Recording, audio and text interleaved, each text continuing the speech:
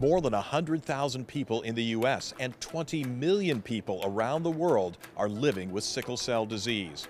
Here's how investigators are looking to improve the outcomes for those patients in the near future. The latest research presented at the ASH annual meeting illustrates the efforts being made around the world to understand how sickle cell disease affects patients in their daily lives.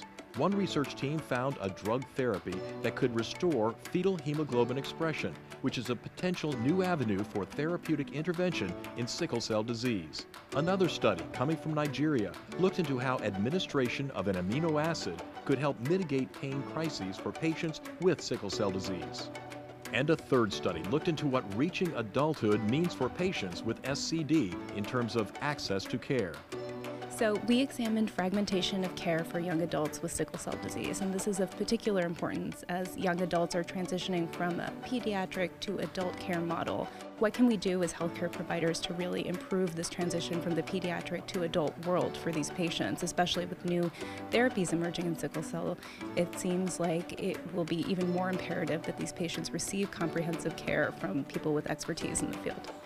More talk of sickle cell disease in this Education Spotlight session, which took the form of a point counterpoint debate on curative therapies.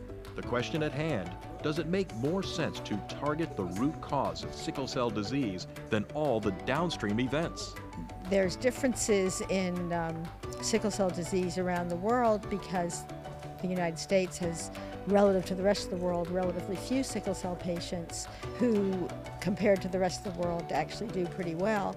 And then places in Africa, the Arabian Peninsula, and Asia have many more patients, and in general, they don't have the medical resources and the care that we can provide. And so they, their needs are different. And so I think those are the considerations that we have to think about, both about how to develop therapies and kind of where to invest our time and our money.